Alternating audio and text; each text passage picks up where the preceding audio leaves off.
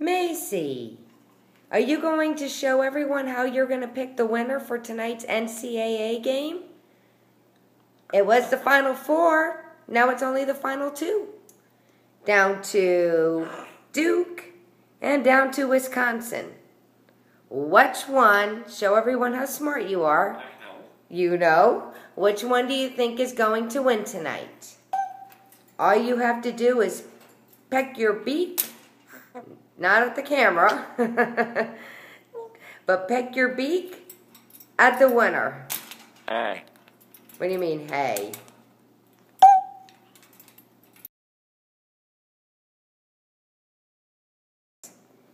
So let's try it this way. We have Duke. And we have Wisconsin. You rip off the one you think is going to lose. The one remaining on your toy is going to be the victor. Which one is it going to be? Take your pick. Take your pick. Oh my goodness, you predicted Duke. Well, let's see what happens tonight.